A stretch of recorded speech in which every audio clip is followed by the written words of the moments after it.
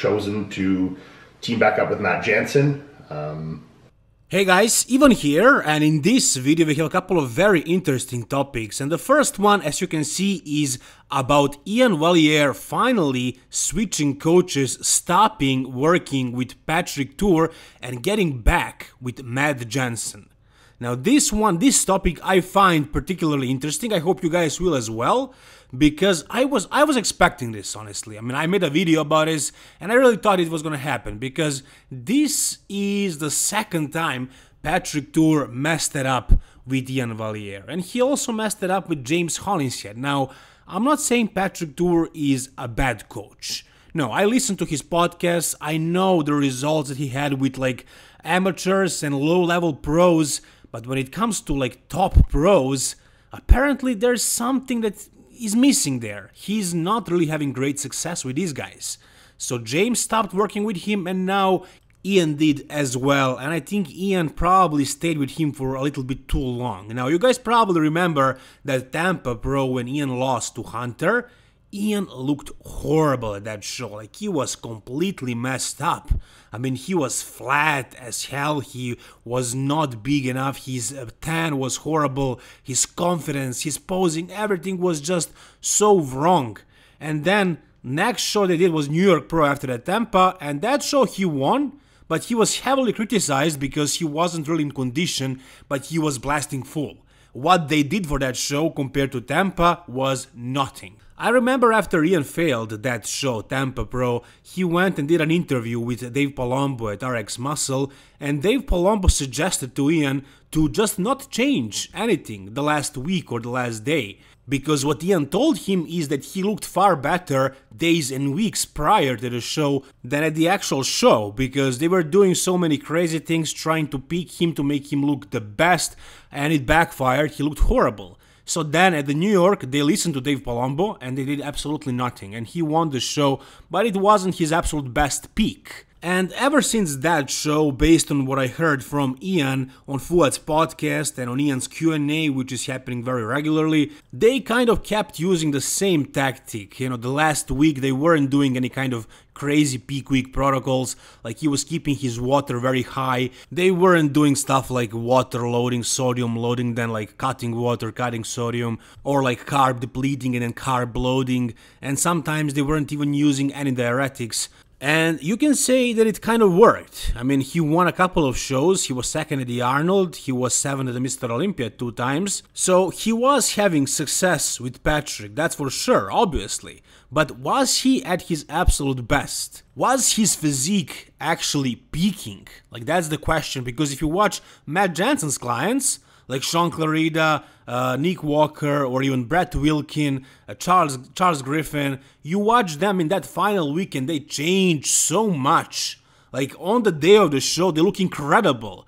You wouldn't expect that they will look that good on the stage because what Matt Jansen does is really good. Like he really knows how to pick these guys. He knows how to dehydrate them, he knows how to carb them up fully, and he never, basically almost never, Matt Jansen never misses the mark. He always picks his athletes at their absolute best. Like he always gets maximum out of them. And that is the most important thing here. Because there were a couple of very important times when Patrick was unable to pick Iain and he actually messed him up completely.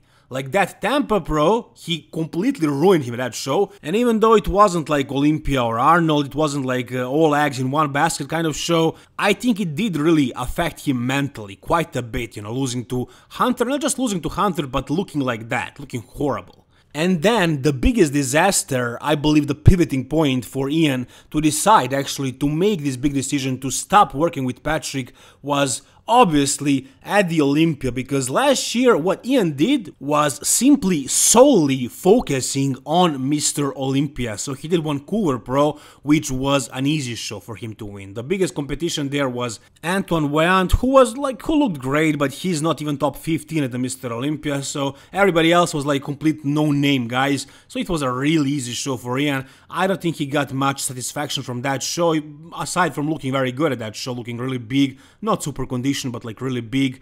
and then he wanted to really peak to look amazing for the Mr. Olympia. That's why he didn't do any shows in between, even though he probably wanted to. He just wanted to do his absolute best at the Olympia, and he put all eggs in that one basket, and he messed it up. I mean, Patrick messed it up. Iain talked about this on a podcast, I made a video about this. It was as simple as just mistakes during the peak week, and that was it. Patrick simply made a bunch of wrong decisions. Correct me if I'm wrong, I can't really remember exactly, but I think it was something like Iain was a little bit too full on Friday morning, so they cut out carbs and water and, and like uh, electrolytes, and then he was too flat and they tried to make it up. They did uh, more diuretic stuff like that. I don't know, it was like a, a mess because Patrick was unsure. He was insecure what he should do. And those kind of mistakes do not happen to Matt Jansen, at least not as often. Now, this is the second time that Patrick messed it up with Iain, and that was simply two times too many for Iain, so he decided to end things. Now, I'm gonna play this video for you where he kind of explains why he started working with Matt and why he stopped working with Patrick, but he doesn't really tell us why he stopped working with Patrick, and that's why I wanted to tell you exactly why he stopped. I just explained it to you because Iain is not gonna do that he's not gonna tell you the things that I told you. And it's just logical. Because, you know, he likes Patrick. I mean, they had success together, and he is not stopping working with him because Patrick is not trying hard. Because Patrick really put all of his effort into Iain. He just isn't good enough coach. That's it. Like, he's a great coach, but he's not Matt Jansen type of coach, level of a coach. So let me show you this part of the video where Iain explains why he stopped working with Patrick and why he got back with Matt Jansen. Plan is to do Toronto Pro in just under 13 weeks, so I've been kind of back at it into kind of prep mode for the last three weeks or so. I have chosen to team back up with Matt Jansen. Um, um, you know, Matt and I worked together from 2015 to 2019. You know, I won my first pro show with Matt. I went, did my first Olympia with Matt. Um, there's a lot of history there. Um, you know, we're both with Ron Revive, obviously, and there's just a, a, a, relationship and a trust that's already built there that made that decision. Not the decision to change coaches; that was a very hard decision. Um, but the decision to choose Matt on the other end of that uh, was was a very easy decision. Um, nothing but the greatest things to say about Patrick. Um, he was an excellent coach. He always put uh, his full effort um, and tried his absolute best to make sure I was at my best. But um, time has come for another change. So you guys should definitely go and check out Iain's video on his YouTube channel, but really, he never really explains why he stopped working with Patrick, aside from saying it's time for a change, and he says Patrick always put his best effort, and I believe he did. I believe he really tried super hard, but apparently he just isn't good enough. And Matt is right now arguably second best coach in the world. Hany is definitely the first, and then you have uh, Matt, Milos Sarcev, and Chris Aceto. Those three guys are battling for that second best coach in the world spot. You guys can tell me who do you think is second best, but Matt is definitely up there. And I won't say I knew it, but I, I kind of thought. I, I really thought. I actually asked Iain on his Q&A. He decided to ignore my question, but uh, yeah, he posted this photo when Matt was prepping him, and he said throwback 2019 Vancouver Pro. One of the fuller looks I brought with Matt Jansen, and then you have Matt Jansen also commenting. Does this situation seem familiar to you? Well, it was the same when Nick got back with Matt. They didn't announce anything, they worked for a couple of weeks, and then Nick posted a photo with Matt, and Matt commented, and then we all assumed that it was happening, and it was the same with Iain now. So he's back with Matt. I believe this makes total sense. They are working together. I mean, Iain is sponsored by Raw and Revive, and Matt is owner of those companies, and uh, you know, they, they had success, they had great success back then, and in the meantime, Matt became much better coach than he was back then, and apparently Iain didn't have great great success with his current coach Patrick Tuor. So this just really made sense. I think this is a great decision for Iain. I believe he will make more success now, far more than he ever did. I don't think he ever peaked. That's what I believe. I think he's about to peak at Toronto in 13 weeks, like really crazy. He's going to bring something ridiculous. Like full like this, like he was in Vancouver, with better conditioning and overall improved physique with more details. That's gonna be crazy package. I can't wait to see that. And I'm a big fan of Iain Valliere and his physique, and I can't wait to see him at his 100%. I'm really excited about this. Whatever you guys think though, tell me down below in the comment section. Alright, so the next story, which I found also very, very interesting, it's about Nick Walker and his result at the Arnold Classic. So ever since the Arnold Classic, ever since Nick lost this show, and everybody thought, uh, not everybody, but a lot of people thought that he should have won, and still people do believe that he was robbed. People also believed that uh, Ramy was robbed. Some people would say that Andrew was robbed. It's always like that with these big shows when it is kind of close. Uh, there are people who are fans of certain bodybuilders, but there are so many fans of Nick Walker, and so many of them believe that Nick was absolutely robbed, that he shouldn't have won this show. And it kind of seemed like Nick was also feeling the same way because of that story that he reposted. I don't know if you guys caught it, if you didn't, here it is. It doesn't have to really mean anything, but as you can see, it says, This is why bodybuilding judging is BS. Two far superior conditioned guys lose to a soft water holding loaf. So basically, indirectly, Nick Walker called out Samson. I shouldn't say called out, he insulted him badly. And then at that point, everybody thought Nick Walker was salty, like really salty, that he lost this show to Samson. And then for damage control, he made this uh, this post uh, congratulating Samson, saying that he's a great dude, great guy, and he's incredibly happy for him, blah blah blah. Which I don't think seems very genuine, but it is what it is. I mean, that's what he said. That's a good thing he did. And then there is this new Q and A that he did on his Instagram, and I thought some of the comments that Nick made were very interesting. So let's check them out. So somebody asked Nick what was the feedback from the judges, and Nick says, My legs were too small. And that was obviously the case. His legs were not just too small, but too flat. When he was fuller at the Mr. Olympia, let's say when he wasn't in as great of a shape, when he was a little bit more watery, maybe a little bit more fat, and just wasn't dieting as hard, when he stayed a little bit bigger, his legs were definitely looking fuller. So I think that package was better, and that kind of package could have won this Arnold. But let's see if Nick agrees with that. The question is, do you think your Olympia look would have won the Arnold? And he says, no, I don't. Why is that? Why he thinks his Mr. Olympia look wouldn't have won the Arnold? I mean, he did beat Samson at the Olympia and he did look different. He did look bigger and fuller. So why does he think that that kind of look wouldn't have won the Arnold and beaten Samson? Well, there is an answer for that as well. The question is the same like the one before, but the answer is a bit longer. Uh, so basically, he says, No, I don't think I would have won the Arnold with the package I had at the Olympia. He says, I was drier, I was leaner, harder, sure, maybe not as full, but still full, but overall better. So he believes his overall package was better at the Arnold than it was at the Olympia. And the reason why he lost to Samson, obviously, apparently, was because Samson improved that much. He is not really saying that, but that's kind of what he's saying, indirectly. I mean, if he believes he was better, and obviously Samson was much better, then if he beats him again, that means Samson improved a lot, even more than Nick did. Which I do believe is the case. I do believe Samson improved significantly, but I would disagree with Nick.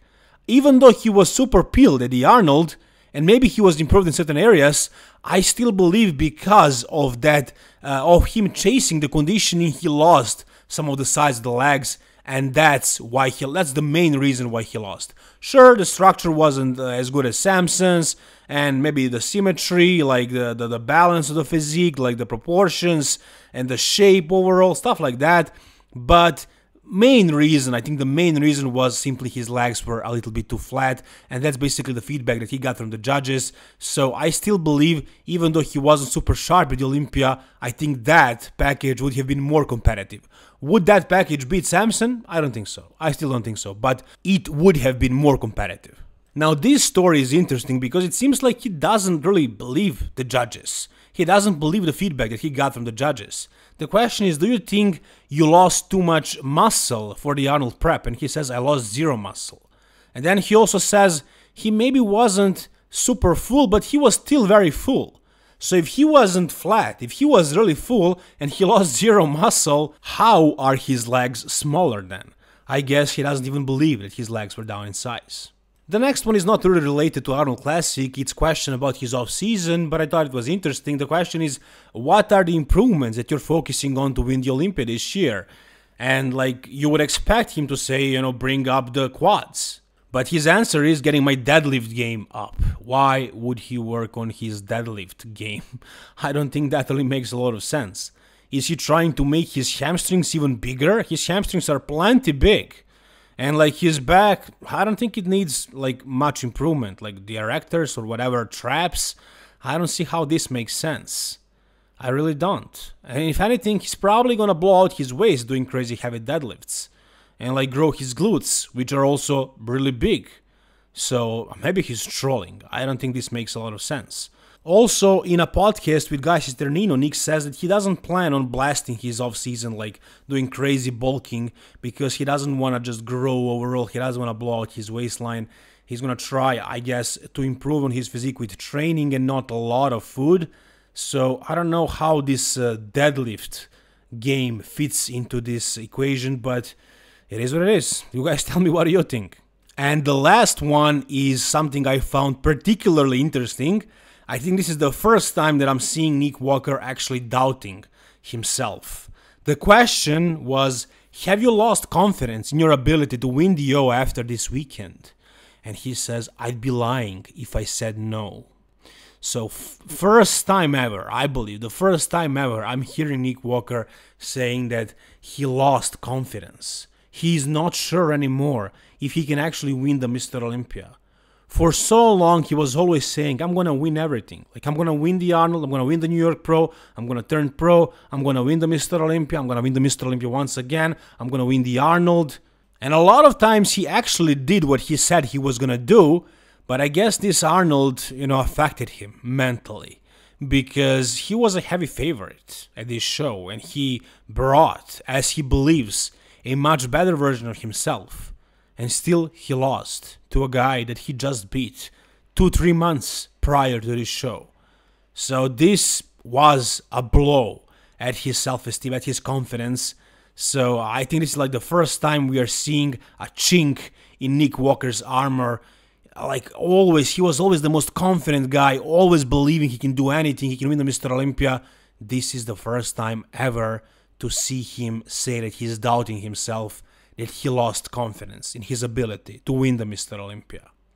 So this is definitely not the best moment for Nick Walker, but I appreciate him being honest and really saying what he feels. And I honestly, like, if you ask me, I know he doesn't have the best structure. I definitely prefer Samson's structure over Nick's, but I believe Nick still has a chance to win the Mr. Olympia if he and he is always on. Like he's basically he's never really completely off. He's always on if the other guys are a little bit off and he improves a little bit more, I mean, he was third already, so what are two more spots? I still think he can win the Mr. Olympia, but if he doesn't believe it, then that's definitely making things more difficult for him and also difficult for us to believe in him if he doesn't believe in himself. So this is the first time I'm seeing Nick without confidence in his ability to win the Mr. Olympia, but at least he's being honest, and it kind of makes sense. I mean, this loss at the Arnold Classic was a bit of a kick in the stomach for Nick Walker. Tell me, what do you guys think down below? And lastly, we got an announcement, an official announcement from Larry Wheels that he's actually going to be competing in Classic, that his prep is starting. So he has been talking about this uh, ever since he got that, uh, I think, heart issue. He stopped using gear. He went off. I think he's on uh, not TRT. I think he's completely off, or just on TRT. And he lost a lot of size. He lost a lot of strength, and he was posting a lot of physique updates. And he was actually saying that he wants to work on his physique now that he can't really be at his strongest and like he was he was mentioning that he might compete in classic but like i was doubtful i wasn't sure if he's gonna actually do it because like he he won't do very well in classic. I mean he's a big guy. He competed in bodybuilding at that one point and like he, his legs were a little bit too small and he wasn't in super great condition. And uh, he's definitely a taller guy so he needs to be super crazy massive way bigger than he is to like win a pro card in open bodybuilding. Now he's definitely more fitted size wise for classic physique but his shape is definitely not classic at all especially after all the injuries especially after the bicep tears and just the heavy training that really you know kind of made his physique look more like a powerlifter than like a bodybuilder. So I don't think he can do very well, but I think he should definitely do it for fun. It will definitely be a lot of fun to follow it, to watch it. But is he gonna do very well? Can he win a pro card in classic physique? Absolutely not. Not a chance in hell. But you know, still I like the fact that he's prepping. Let's see. I mean let's see what he can actually bring. If he really works on his posing, if he can actually make his physique look better than it actually is, and if he works on like bringing down his waistline and he actually comes in super conditioned, then it can definitely be interesting to see. At least that much. Whatever you guys think about Larry doing the classic physique, or about Nick Walker's Q&A, or about Iain switching coaches, stopping working with Patrick and starting working with Matt Jansen, whatever your thoughts are, tell me down below in the comment section. If you guys enjoyed this video, please give it a thumbs up and if you want to see more stuff like this, subscribe to my channel guys. Thank you so much, all the best and bye bye.